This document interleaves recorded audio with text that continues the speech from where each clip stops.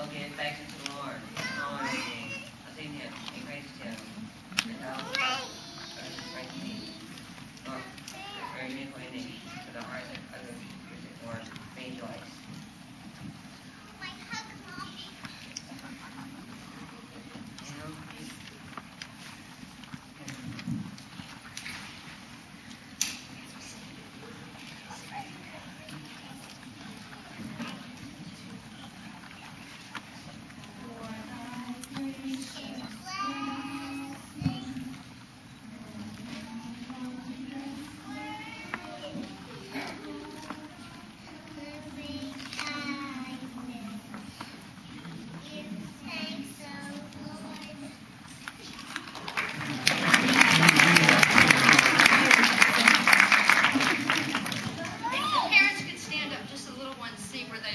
So they can go to their